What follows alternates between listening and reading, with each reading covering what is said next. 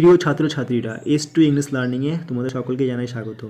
তোমাদের ক্লাস এইটের দু হাজার বাইশ জানুয়ারি মাসের জন্য যে সমস্ত মডেল অ্যাক্টিভিটি টাস্কগুলো দেওয়া হয়েছে, আজকে আলোচনা করব পরিবেশ ও বিজ্ঞান বিষয়ের প্রশ্নগুলো।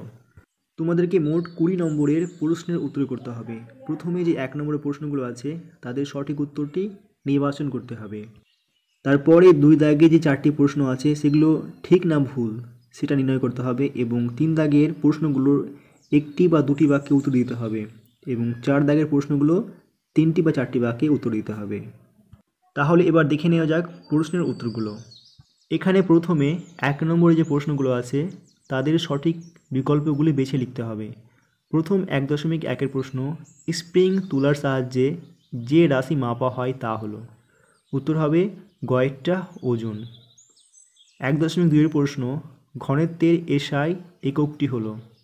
সঠিক উত্তর হবে ঘ কিলোগ্রাম পার ঘনমিটার।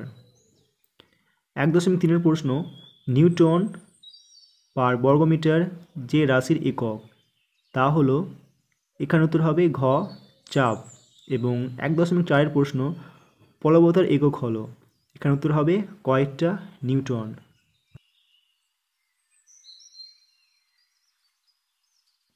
এবারে দুই নম্বরে যে প্রশ্নগুলো আছে, সেগুলোর ঠিক বাক্যের পাশে রাইট চিহ্ন এবং ভুল বাক্যের পাশে ক্রস চিহ্ন দিতে হবে।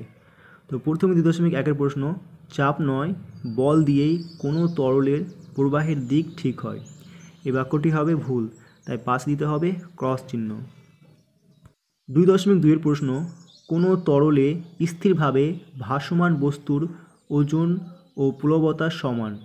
এটি হবে ঠিক, পাশে দিতে হবে রাইট চিহ্ন। তারপরে দু দশমিক তিনের প্রশ্ন, লোহার প্রেগ জলে ডুবে যাবে, কিন্তু পারদে ভাসবে। এই বাক্যটি হবে ঠিক, তাই পাশে দিতে হবে রাইট চিহ্ন।